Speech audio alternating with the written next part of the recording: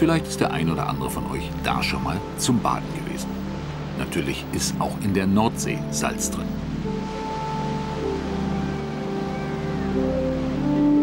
Das ist die Lisa. Die hat Wasser geschluckt, schmeckt natürlich salzig. Vielleicht war sie es ja, die uns die Fragen gestellt hat.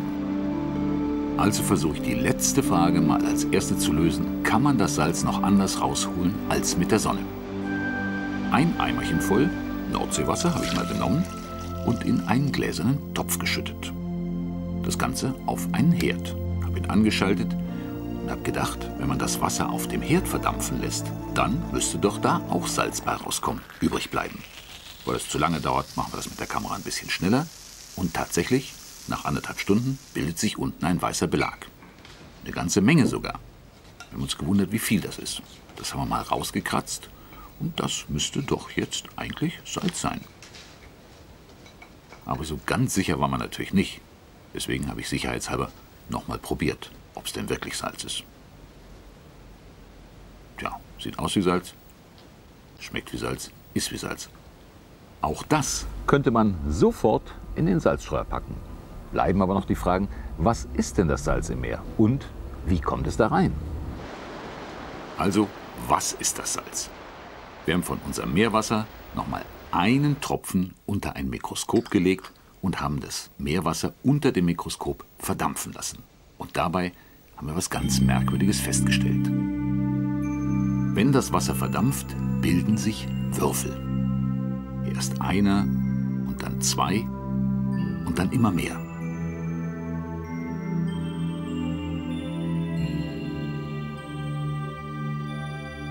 Und es bilden sich überall Würfel und alle sind kleine Vierecke.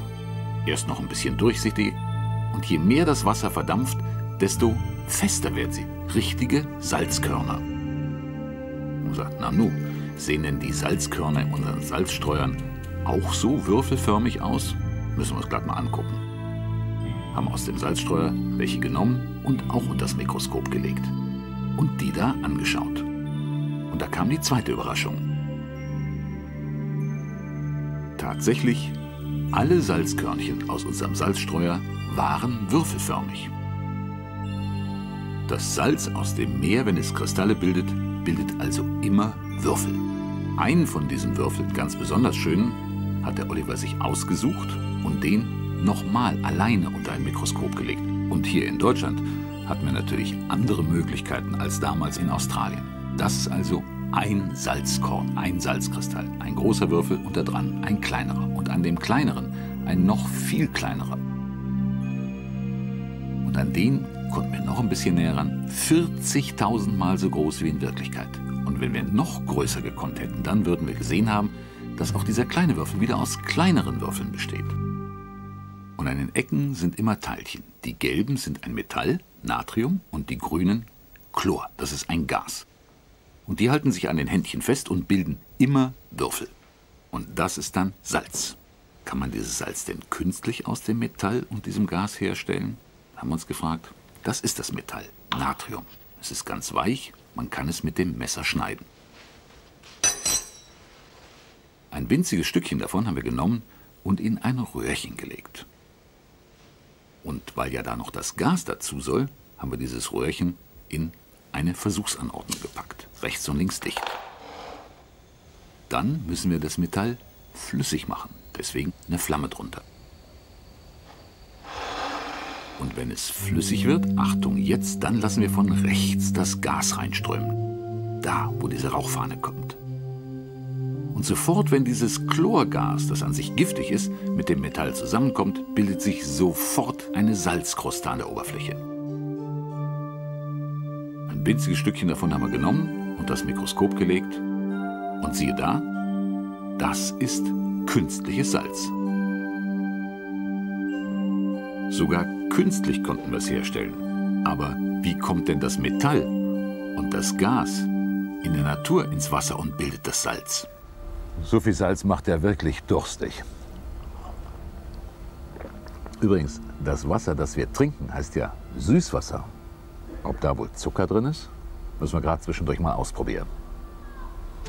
Also bin ich extra in die Berge geklettert, wo der Gebirgsbach noch sehr sauber war, weil ich mir gedacht habe, wenn schon Süßwasser, dann müsste ja da der meiste Zucker drin sein. Auch davon habe ich mir wieder ein Liter mitgenommen und habe das zu Hause in den Topf getan und auch das wieder kochen lassen. Und weil auch das natürlich anderthalb Stunden dauert, bis das ganze Wasser verdunstet ist, machen wir auch das mit der Kamera wieder schneller.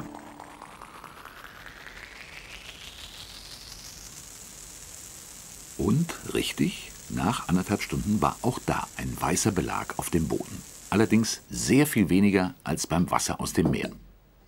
Dieser Belag war auch sehr viel schwerer aus dem Topf rauszukriegen. Wir mussten uns schon richtig kräftig anstrengen und richtig dick kratzen. Im Vergleich zu der Menge Salz aus dem Meer war das auch nur ein kleines Häufchen.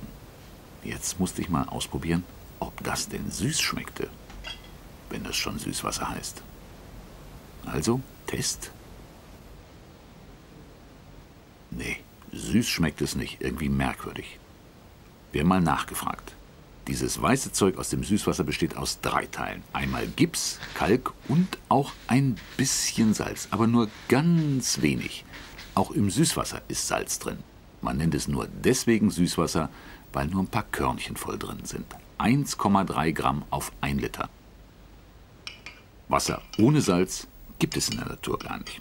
Und das Meerwasser heißt nur deswegen Salzwasser, weil mehr Salz drin ist. Nämlich 33 ein Drittel Gramm auf 1 Liter. Das ist komplett aufgelöst, man sieht es nicht, ich rühre hier mal um.